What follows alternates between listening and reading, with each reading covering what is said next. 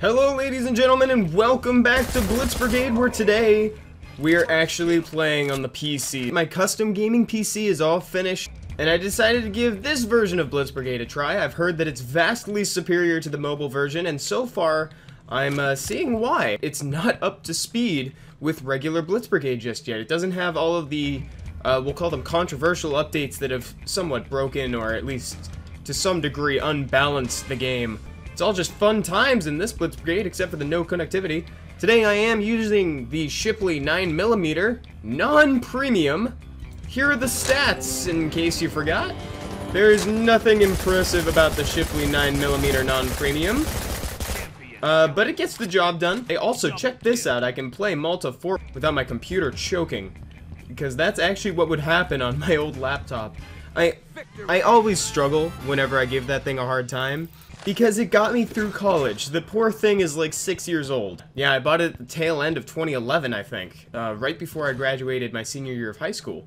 I mean, it's still, it's still kicking, it's still next to me. I have it as a backup computer and I'm gonna take it everywhere I go still. Once they add in some more weapons and stuff like that, I may start doing honest attempts on here, actually. Oh, that's right, I could be getting achievements for jumping in my spare time here while I wait for players to join. I'm being moved due to autobalance after I've done all this work. Uh, after I captured all those points. That's so stupid. That's like, it's a level beyond stupid. It's stupid. Also, this means that by association, I could probably start streaming again. Although I have a feeling that I'm probably going to stream games that I want to stream. You know, I'll... Sure, I'd love to do some Blitz Brigade too, but I can also do Hearthstone, Heroes of the Storm, maybe some Torchlight, because I'm finally playing the first Torchlight, not even Torchlight 2, and I am digging it. It is so much fun. Maybe Delver? Oh, I am on the red team.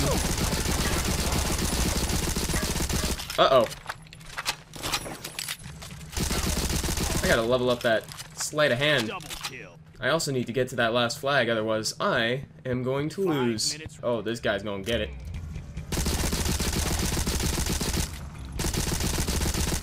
There we go.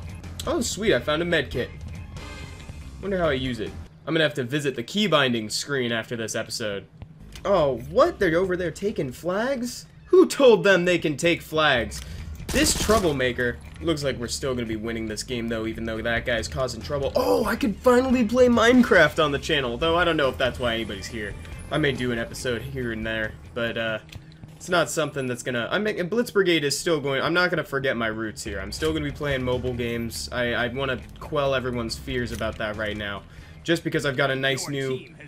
Come on now. Just because I got a nice new PC and I can play everything, uh, it doesn't mean that I'm gonna forget what I how I got here. It's so much easier to aim on the PC. I know that goes without saying, but like, I didn't realize that it was gonna be this much of a difference. They are all gunners. Why are you all gunners? I mean, I guess in this version of the game, I remember my favorite class was the gunner too.